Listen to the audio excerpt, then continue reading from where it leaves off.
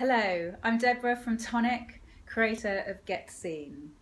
Just wanted to talk to you briefly today about positioning. It's one of the key mistakes I see filmmakers make, along with not identifying their audience specifically enough. If you don't position your film clearly, it could come across very differently in a trailer or promo than it does on the poster, and then again be different in the press. You'll really confuse your audience, and that's not a good thing. A confused audience just won't take the risk. They won't come and see your film. They'll come and see something that they feel is a safer option. So it's really important you get this right. I talk about it in more detail in my Get Seen program that's out at the end of the month, but I've got a few pointers so you can get started now. Think about a clear positioning statement for your film. It's two, maybe three sentences.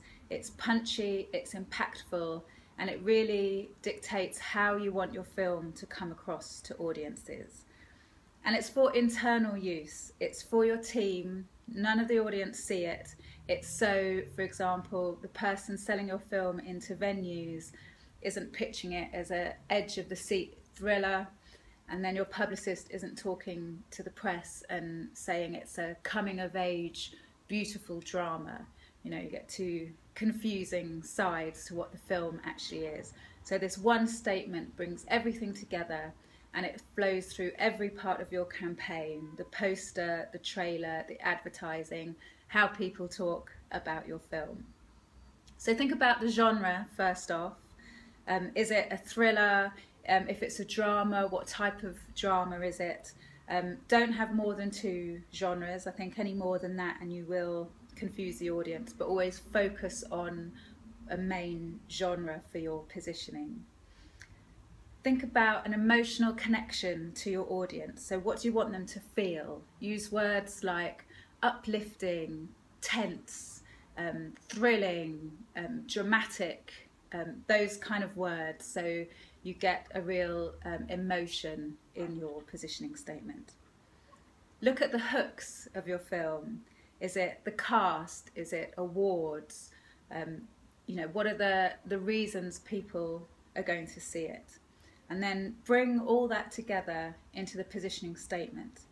And it's not necessarily the story, and you need to think very carefully about this, especially if it's a difficult subject matter.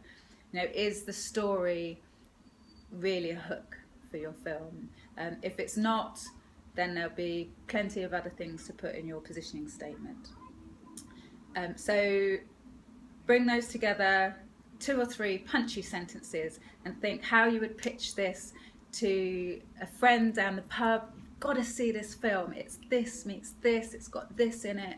You know, you feel this or if you bump into your favourite distributor in Cannes, you've got she's rushing to a screening, you've got two or three seconds to pitch your film in a in a bold, exciting way to her, um, and that's the mindset for your positioning. So good luck.